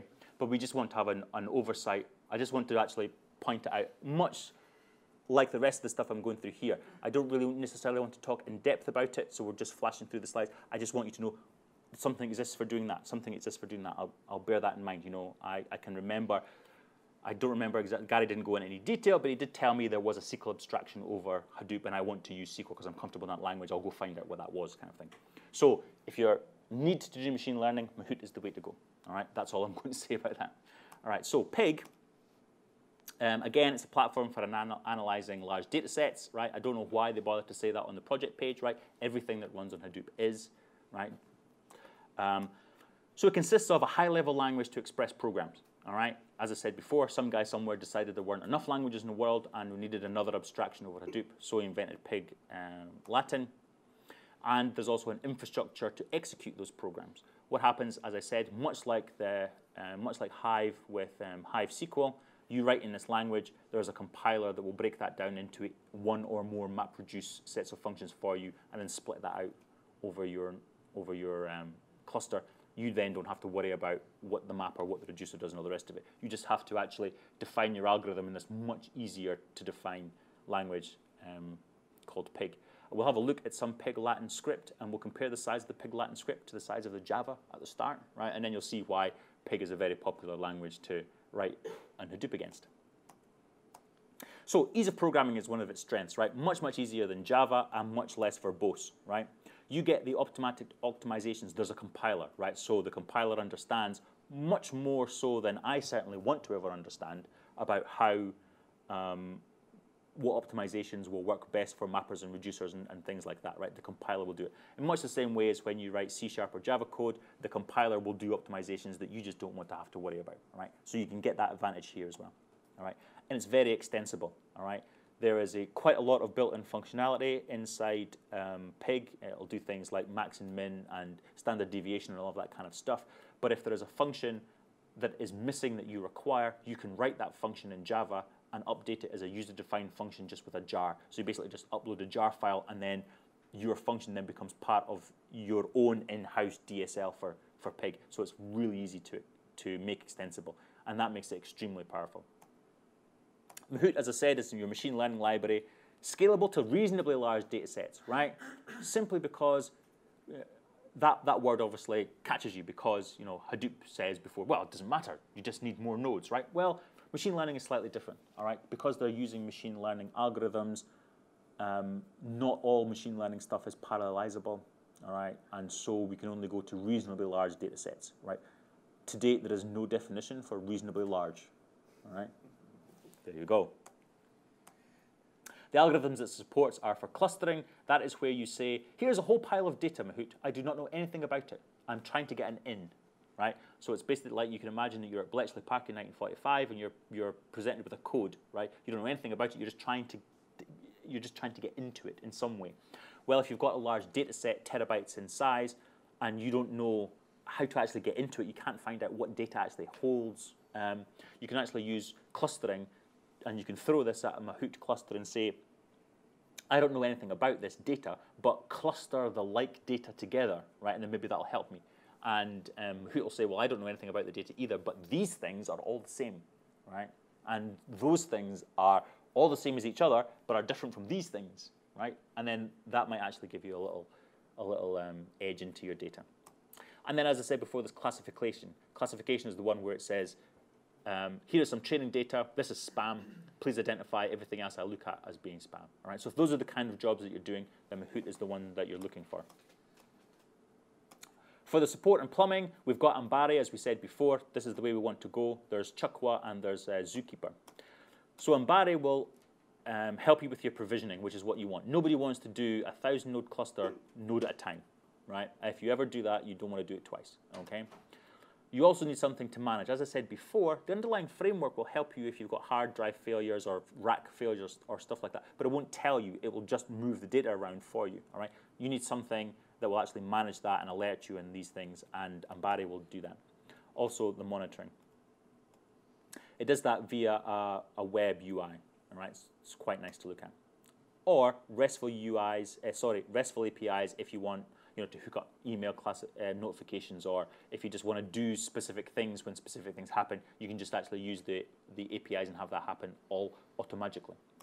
So if you've got a monitoring software that you're using anyway in your environment, you've got a way to hook it in? Um, yes, if you've got a way to extend um, your stuff um, and get into it, then absolutely you can use the APIs within, within Ambari. Yeah. So Chukwa, I'm not even sure if I'm pronouncing that right, to be honest. Um, there's no pronunciation guide on the page, so we just have to assume that I am. But that's, um, that gives you large scale and reliable log collection. Okay, so if you're logging out stuff from your mappers or you're doing um, logging other things, right, but you're doing it on a, on a massive scale across your cluster, then you need something to gather those logs files together. And Chukwa's a thing for doing that. And then with Zookeeper again, um, I don't, I don't intend to read all this out. Um, it's basically high performance coordination system. All right. So if you're using distributed applications, as I've said, if you want a bit more information, you can download this slide deck afterwards and go into this in more detail. Um, but basically, you can use it um, off the shelf to do um, consensus and group management and that kind of thing. But actually, you can use it as also use it as a base to build your own um, specific um, requirements for um, group management and that kind of thing. All right. So Zookeeper is the, is the boss that keeps everything ticking over nicely. Okay, I was going to demonstrate that. Uh, I'm not because I can't get it. I can demonstrate it. No, I can't even demonstrate it not working because um, we don't have a good internet connection. So there are two ways I would recommend getting into Hadoop. If you've after this session, if you think, yeah, it's it's something I want to find out more about. The two easiest ways to get into it are one, the HD Insights Insight. I don't know why I keep calling it Insight.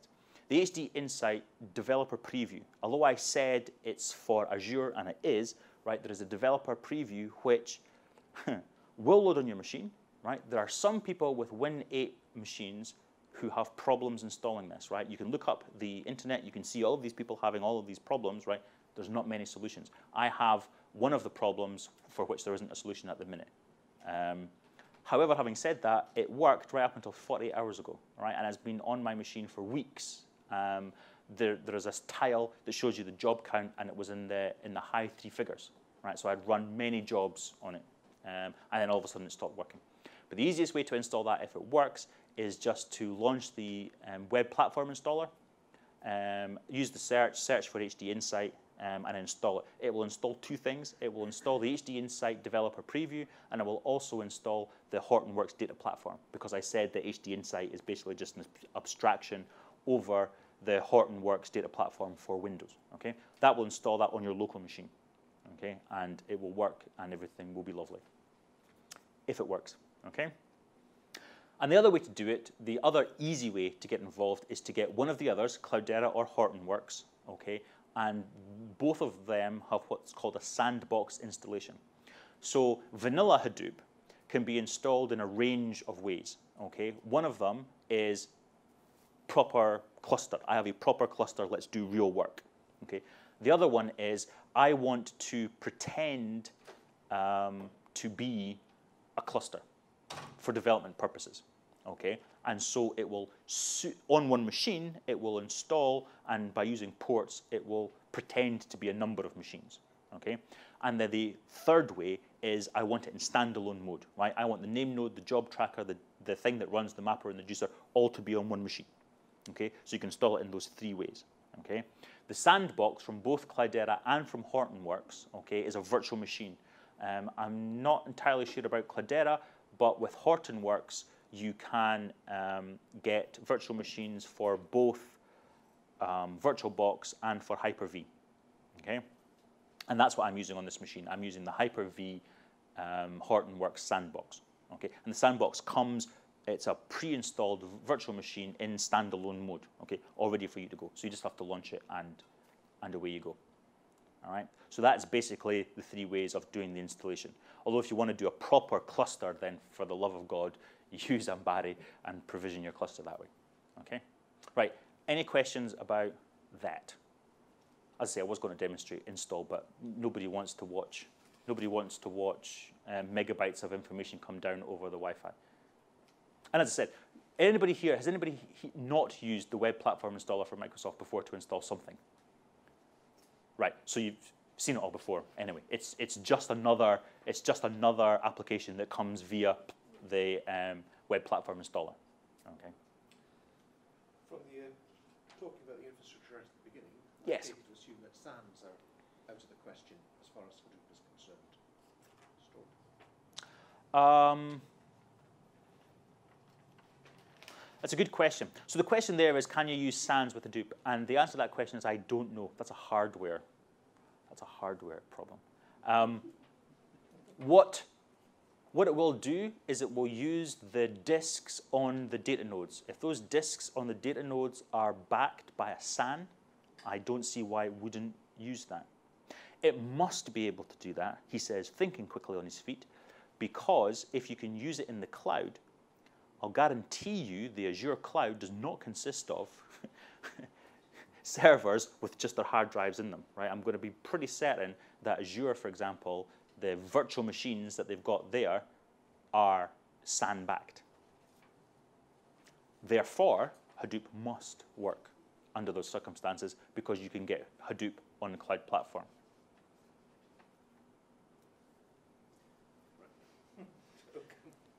So that's about 60%.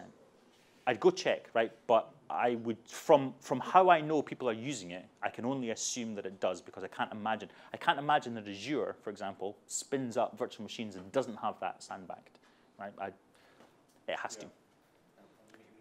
Yeah. Anybody else? No. All right. So let's make Hadoop do stuff, right? What's it? What's it going to look like? Um, so what we're going to do is quickly get rid of that.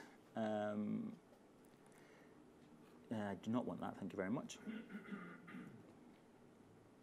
Do you know what? I'm just going to get rid of those slides because we're kind of finished now, right? And that's just going to annoy me. Give me this back. Okay, so if we go here. Why is it done now? Is it because it's too hot, I wonder? Ah.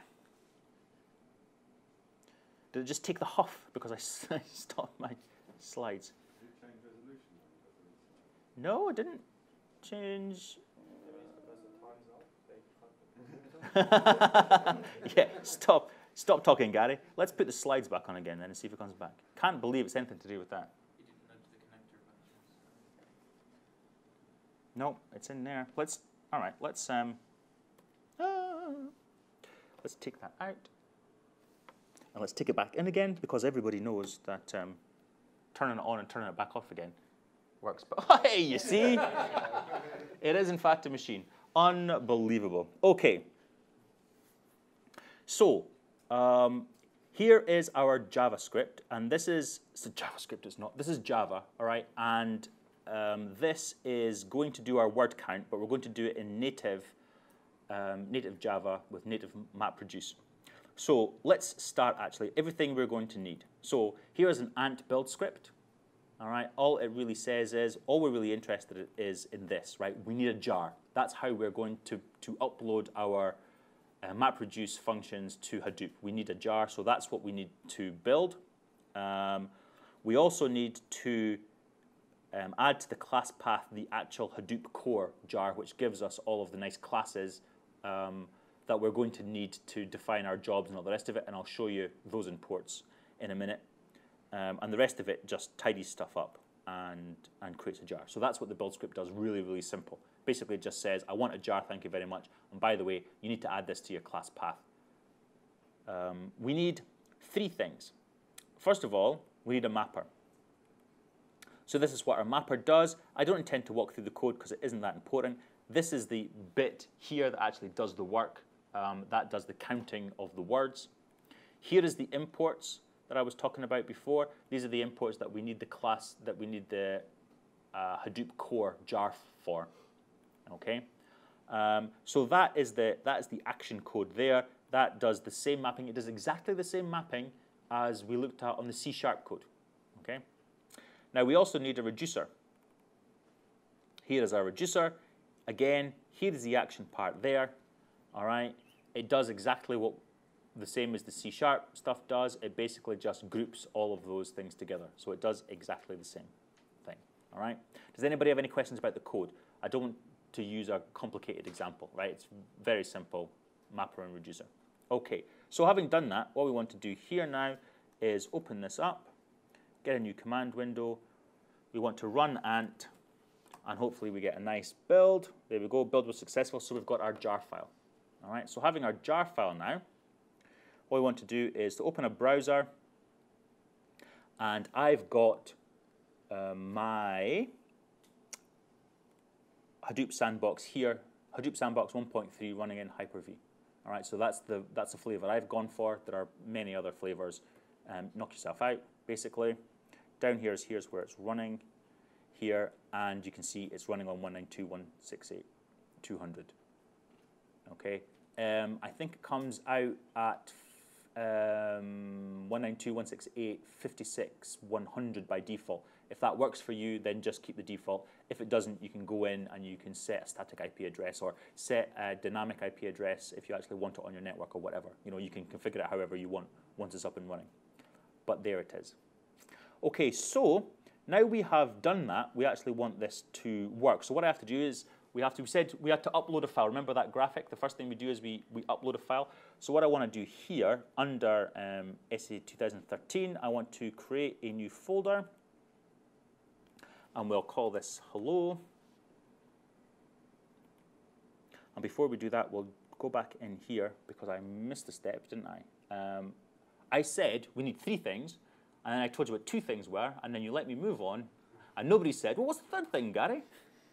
So I'm going to blame you for that. What we actually need here is a is a word count Java file, which is actually the thing that's going to kick it all off, right? It's going to actually do the work. At the minute, we've described a map function and we've described a reduce function, okay? But we haven't actually told it to do anything with those functions. This is the thing that actually says what to do. So down here, first of all, first thing it's going to do here is it says, hey, you better tidy up the output. And the reason you have to do that is if you try to output, if your reducer outputs to a path that already exists, it will fail with a warning because it just assumes you want that data, right? So it won't overwrite that data. So if your output path um, exists already, it's going to bitch about it, all right? So here, we're, going to, we're just going to go and tidy that up, all right, and remove that path. And then what we're going to do in the job configuration here, this is the business end, what we need to do is we need to start a new job configuration pointing it to the Java class all right, that's actually starting everything off, okay? Then what we're going to do is we're going to set the output key and the output value. So what we're doing is we're setting a data type Remember I said that um, outputs have to be in a key value, in a tuple and a key value pair? All right, because Java is a statically typed language, it wants to know what those um, types are going to be. So here we've said the output is going to be a string for the key, i.e. the word, and it's going to be an int, an int writable, but ignore that for a second.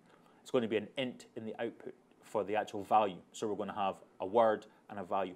If we try to put something out which is not a string and an int, we're going to get an error. All right. So there we get some protection from a statically typed language. It doesn't get all the way to our um, doesn't get all the way to our cluster and fail before we find out. All right. Then we have set the mapper class, and here I've imaginatively called it map. Um, our combiner class, and this answers the question that gentleman had before. Um, is the combiner just going to be the reducer for most things? And, and, it, and it is, and so we just set it to reduce. Then we set our reduce class. We say what our input is going to be and what our output format is going to be. All right.